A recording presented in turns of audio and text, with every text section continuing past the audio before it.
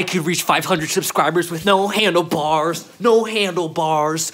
Look at me, look at me, 500 fucking subscribers leading a fucking revolution. We're gonna fucking take over the world with no handlebars, no handlebars. No one can give me a fucking, no one can fucking stop me because we're fucking changing the world. Punk revolution now, no handlebars, no handlebars. I can lead a revolution, a punk revolution with no handlebars, no handlebars.